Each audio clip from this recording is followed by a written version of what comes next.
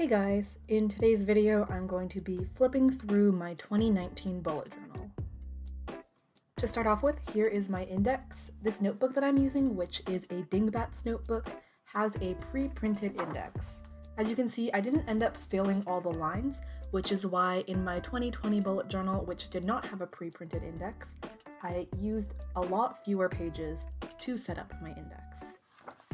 Now here is my main title page for 2019. This first spread has my 2018 reflection and some drawings for nine things that I'm looking forward to. I'm not a big fan of trying to do reflective or journaling type writing in a constrained box like this because it makes me feel like I have to limit what I'm saying and cut everything down. So in the middle of the year, I ended up switching to a journal journal instead of trying to put journally type thoughts in my bullet journal. If you'd like to know more about my actual journal, then let me know and I might make a video about it. The next spread after this, first I have my nine goals for 2019, which I ended up not really referring back to as often as I would have liked to. Let's see. I ended up accomplishing, I'd say, four of these nine goals. Next, I have this where I tried to set myself a daily routine. But once again, once I made this, I really didn't go back and look at it at all, and I never really did end up following through on all of these things, unfortunately. Since I didn't find the spread particularly effective, I removed it from my 2020 setup. This next spread has two of my favorite setups. This one is for my year in pixels, in which I track my mood for each day based on these colors. It was really helpful for me to, at the end of each day, just think about how I was feeling and actually think about my emotions instead of just going to sleep and not thinking about them, which is not really great for my mental health. And these ones are empty just because I'm currently filming this on the 26th. Next, this one is for the books I read this year. As you may have seen in my 2019 Plan With Me video, I drew all of these books as a template beforehand, and then as I read each book, I just colored them in with a highlighter color in the color of the book cover, and then wrote the title. This one, my last replace spread, was also very helpful, and I ended up using and referring to it quite a lot. The way this works is I keep track of when I've replaced certain items that need to be replaced, as you can see, I have my toothbrush, contacts, and contact case. This way I know at a glance when I last replaced it so that once the recommended time frame has passed, I will replace it again. And then this is my list of video ideas. Most of these are going to be transferred over to my 2020 video ideas setup. And this, following my video ideas, is my video plan for the year. This is my finance tracker. Later on, I put another finance tracker in my August spread because I had filled it up. And now here are my monthly grids. What I did in these is I kept track of major events and any assignments that were coming up in a month that was not the month I had already done a monthly setup for. For example, if I got news of a certain event in March, but it was happening in May, then I would just add it to this grid. Additionally, I scheduled tasks for each week, on this margin on the side.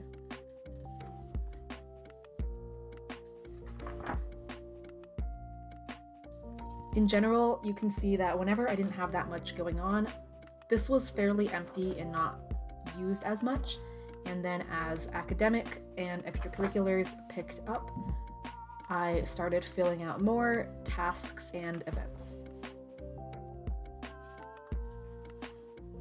Now here is what I used to plan for my winter break in the holiday season from 2018 to 2019. And then this is my January setup. Towards the beginning of the year, as you can see here, I set up these spreads for me to look at my goals from the 9 for 2019 spread that you saw earlier. I reflected on the progress I had made and any changes I might need to make to better my ability to reach my goal. I found this really helpful at the beginning of the year when I still abided by my 2019 goals, but towards the middle of the year, I decided that some of the goals were no longer relevant. Now here is a timeline I made for an approximate college application timeline, but this wasn't very helpful because when I made this timeline, it was spring before senior year, so I really had no idea how college apps worked. Here's where I planned out a trip I made to the East Coast, and this is a very cute setup. I would like to replicate this at some point. This is where I kept track of a strength training plan for track, and this was the packing list I made for that East Coast trip that I referred to earlier. And then this is how I designed my to-do lists for January. As you might know, I generally just have my monthly setups. And then I don't really have structured weekly planning, just to-do lists for every day that flow throughout. This is my February setup. I tried to have a weekly journal here as you can see, but I didn't really like this for the same reasons I wasn't a big fan of my 2018 reflection spread in that it's a very limited space, so I didn't feel like I could freely write down all of my thoughts, which essentially defeats the purpose of journaling. It was a good attempt though, and it helped me figure out what did not work for me, so thumbs up to that. This was another goal reflection spread, about the same as the one from January. And then here is how I set up my to-dos for February. This is my March setup. This is definitely one of my favorites. I really like this drawing I did and the overall minimal line setup. Heck yeah, thumbs up. This time I combined my journaling and goal reflection into one spread, which once again, not a big fan of because it felt really constrained as if I couldn't truly spill out all of my thoughts. And this is how I set up my to-do lists. I really like this layout and I'd like to try this again in my 2020 bullet journal. Here is another cross-training spread I set up, but one thing I noticed is that when I set up spreads like these where they're essentially a really long task list, I really need those circly checkboxes that you might have seen here because if they aren't there, I feel like it's just a bunch of text that I can read instead of actually doing something. I need the checkboxes to keep me accountable for some reason. This is a planning setup I made for writing all of the chapters of my book Study With Me, which I will link in the cards and description if you haven't heard about Study With Me, my student guide to bullet journaling yet.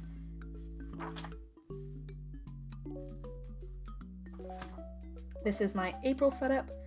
For April, I decided to do a purple cherry blossom inspired theme. You can tell that I just like plain black lines, which I'm a fan of, one, because they look really cool, and two, they don't take very long at all to set up. I would definitely say I progressed towards a more minimal style as my bullet journaling has evolved. Once again, replicating the March goal reflection setup and journaling setup. Okay, I haven't looked at this in a long time, and it's pretty cool. I think these branches are very aesthetically pleasing, and I found it relaxing at the end of each day to just draw a branch and just take a little bit of time to doodle. This is another spread I use to plan out my book writing process. The tasks I have to do for each chapter are essentially to write a draft, revise and edit a crap ton of times, take the example photos, and then edit and upload the photos. So as each one progressed, I just checked off each box. Oh, towards the end of this month, I just gave up on the drawings. Maybe I ran out of time or something. I don't know exactly what happened, but hopefully this can show to you that even people who post their bullet journals on the internet as an example of bullet journaling don't really do things perfectly all the time, so don't feel like you absolutely have to either. This is my May setup, inspired by the Great Wave off Kanagawa. And it's all themed around quotes about turning 17, because this was the month of my 17th birthday. And then I tried to do a daily gratitude journaling thing, but I didn't really fill it out at all, as you can see. So for 2020, I decided to do weekly gratitude journaling, because as I mentioned in my 2020 plan with me, I think trying to force myself to reflect more often than I actually have the free time and mental energy for is just counterproductive and makes me feel bad for not feeling something out rather than actually helping me to think about what I'm grateful for. So here you can see I completely fell off journaling in my bullet journal and decided to completely migrate myself over to my journally journal. I should come up with a better name for that. Let's call it the messy journal. On this spread, I decided to re-evaluate the nine goals I had set up at the very beginning of the year that I previously mentioned. But after I moved everything to this setup, I never looked back at this particular spread. So overall, my goals just kind of disappeared into the wind, never to be looked at again, unfortunately. So that's one thing I'd like to improve on in 2020. One new trick I developed in 2019 was using a post it note for a task that moves throughout the days, if that makes sense, like a really big project where it has a list of multiple tasks that I need to check off, but I don't think it can be finished in one day. That way I can just peel off the post-it note and move it to whatever day I'm currently at, so I can keep checking off those tasks without having to recopy every single item on that list. Here is a failed empty setup that I never really ended up using, This is my June setup. For this month, I had a pre-film list along with my regular video list since I was going to be away for quite a bit of the summer. So I needed to make sure to get some videos pre-filmed and queued up and uploaded before I went off and was not able to film videos. Okay, this is kind of wacky because I actually ended up finishing all of these tasks. So I want to just bubble them in so I feel better about having finished everything. But in June, I did not journal at all in my bullet journal. Here was my study plan for the SAT 2s that I was taking in August. I set it up for June and pretty much got it all done. Once again, I didn't finish bubbling in the bubbles, even though I finished everything, so past me, I don't know what you were doing. Then in August, I decided to not stick to a regimented plan and just did practice whenever I had free time since school was starting to pick up, so I wasn't really sure when I'd have more time to practice. Another packing list. The great thing about keeping all my packing lists in my bullet journal is that whenever I need to write a new packing list, I can just flip back to my older ones and use those as a template. Here's my July setup, which seemed to be a fan favorite with lots of people recreating these cute little pineapples. I do really like this rainbow, almost technicolor disco look. And this is admittedly one of the cutest setups I've ever done. Look at all these pineapples, they're adorable. I only had two weeks at home in July, so I did a structured weekly setup instead of the normal mumbly jumbly to-do lists. These had a task list on the left side and then scheduled out tasks and events for each day on the right. This was a pretty effective setup, and if I ever end up doing more structured weekly setups, I might replicate this look. Here is my August setup, which was inspired by Heather's. In this space, I intended to paste in some Polaroids, but I never ended up doing it because I normally put my Polaroids in my messy journal because to me it just makes more sense to have the photos in a space where I can also write down the memories associated with them rather than just isolated here. So that's one more thing I discovered that didn't really vibe with me. Here is my newer finance tracker to make more space since, as I previously mentioned, I ran out of space in the one I had set up at the beginning of the year. And then here are my to-do lists as I started school on the 14th. I also found it more helpful to have brain dumps with my to-do lists you never know when you're gonna feel so overwhelmed that you need to brain dump, so it makes more sense to just have them in spots where they come up rather than trying to force them to all be at the beginning of the month. Here's my September setup, but once again, I didn't really check off my finished tasks, even though I finished this task. Don't know what I was doing at past self. Here as well, I just gave up on this habit tracker. One of my flaws is that I'm kind of all or nothing when it comes to these trackers. As soon as I forget to write something down for one day, like I probably forgot to track my habits on the 8th and then just gave up for the rest of the month. So that's not a great habit, and I don't recommend you get into this habit because it's better to have 15 out of 30 days tracked instead of like 4 and then nothing. Tips from someone who messed up. These numbers signify each hour of each day. So 7 is from 7 o'clock to 8 o'clock. So for each task, I estimate how long it'll take, then I directly copy it into a time block. If you'd like to know more about scheduling your time as a productivity method, I will link a video about that in the cards and description. This is where I attempted to keep track of my supplements, but it wasn't really helpful because I ended up doing all of my supplement tracking on a Google Docs since that's where I was writing them anyway. Occasionally, I also took notes in my bullet journal. For example, in this particular weekend, I was revising my Common App essay, so I took some notes from internet sources and YouTube videos and stuff like that about what I could do. Then I would have my notes to refer to as I was writing them on this weekend.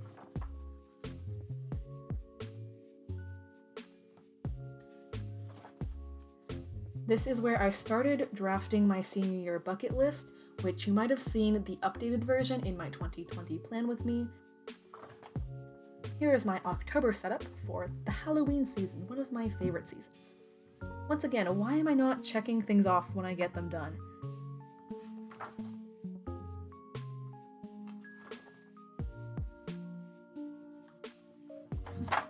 In November, I made a vertical video tracker which looks very nice, but I found it to be kind of a waste of space because I really do not need this much space to just write a few words and numbers.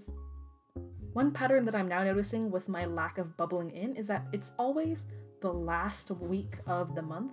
I think that might be because for all of these other weeks, I had to refer to this setup to know my plan for what I was going to be doing the next week. But for this last week, instead of flipping back to this page, I would have been flipping to my December setup. So, one thing that might help that is if for each monthly plan with me, I also do a flip through of the previous month's spreads. That way, I end up forcing myself to actually look at this again.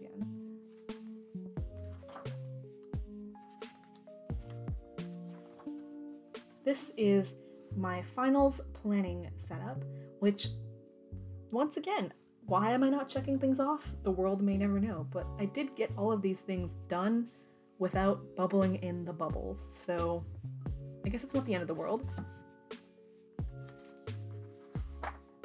This is a different finals planning setup, which was my idealistic one month of studying for finals plan, but towards the middle of November, I started getting senioritis way too early, so I didn't really finish all of this stuff during these two weeks. Instead, I just rescheduled them into the two weeks leading up to finals. Here is another strength training plan I set up. In December, I allowed myself to kind of just get away with not finishing everything, which is why a lot of the bubbles are not filled in. Because in December I was trying to recover from an injury, so I didn't want to physically push myself too hard if I just wasn't feeling it. And then here is my cute little December setup with my snowman. In my December Plan With Me video, I set up my tasks and these main goals for December. I think it was helpful to set these bigger goals or less concrete tasks in these ways without the checkboxes, and then have actual smaller detailed plans in these checkbox formats for my weekly tasks. Then over here I have a 2019 reflection that's a little bit more structured than the 2018 one I have in the very front of this bullet journal. Instead of having it just be me trying to spill a bunch of thoughts, I have it as 10 books that I found most important to me this year, my top 8 songs on Spotify, and some major milestones that happened. And then here are my to do lists. This particular week, I was vlogging my life for my YouTube channel, and I wanted to keep track of events that would be happening on each day or certain things that I wanted to make sure to get footage of. Since vlogging is actually quite hard, often when you're in the moment, you just don't remember that you are supposed to pull out the camera and record things.